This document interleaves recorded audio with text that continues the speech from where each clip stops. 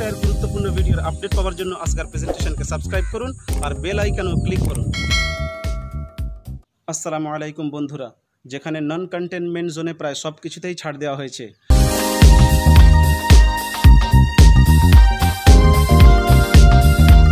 আর containment জোনে emergency পরিষেবা ছাড়া কোনো কিছুতেই ছাড় দেওয়া হয়নি। সেখানে কন্টেনমেন্ট জোনের মধ্যে পড়া কলকাতা শহরে লকডাউনের কীরকম পরিস্থিতি?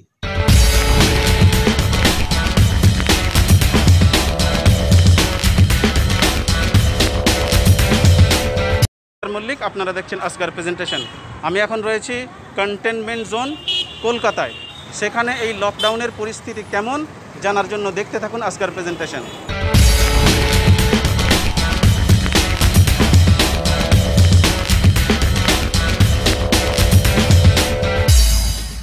भाई साहब यहाँ पे कलकत्ता में जो सोशल डिस्टेंसिंग यहाँ पे जो कंटेनमेंट जोन है यहाँ पे सब लोग रूल्स फॉलो कर रहे हैं या नहीं? सोशल डिस्टेंसिंग फुल फॉलो होता है हर चीज़। पूरा रूल्स एंड रेगुलेशन फॉलो होता है हर कुछ। दुकान में किसी भी दुकान में चले जाइए आपको सब कुछ सोशल डिस्टेंसिंग सैनिटाइजर हर चीज़ अवेलेबल है सब कुछ मिलेगा। आपके दुकान में तो पूरा सब कुछ फॉलो करके चल रहा है?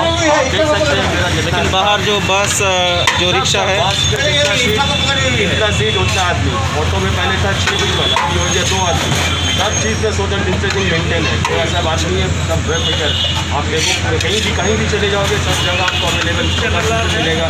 सैनिटाइजर हर चीज़ में बस में जितना सीट उतना आदमी ऑटो में दो आदमी करके रिक्शा में एक आदमी। दो आदमी भी अलाउड नहीं है रिक्शा में सिर्फ़ एक आदमी।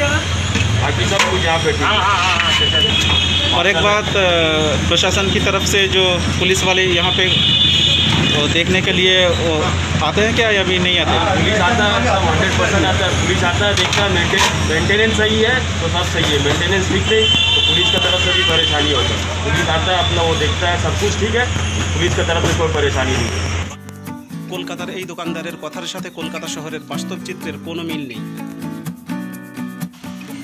কলকাতার রাস্তাঘাট, খোলা দোকানপাট দেখে আপনি খুঁজেই পাবেন না। কন্টেনমেন্ট জোন আর নন কন্টেনমেন্ট জোনের মধ্যে পার্থক্য।